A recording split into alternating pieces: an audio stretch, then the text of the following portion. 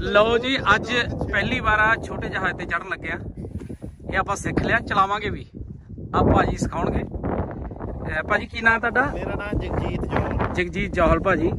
ਆ ਕਈ ਜਹਾਜ਼ ਨੇ ਇਹਨਾਂ ਦੇ ਕਾਫੀ ਖੜੇ ਆ ਉਧਰ ਵੀ। ਤੇ ਆ ਕਹਿੰਦਾ ਸੀ ਮੈਂ ਚਲਾਉਂਗਾ ਇਹ ਛੋਟਾ ਹੈ ਪਰ ਮੈਂ ਡਰਦਾ ਇਹ ਤੋਂ। ਮੈਂ ਕਿਹਾ ਵੀ ਤੂੰ ਨਹੀਂ ਚਲਾਉਣਾ। ਵੀ ਜਹਾਜ਼ ਮੈਂ ਚਲਾਉਂਗਾ।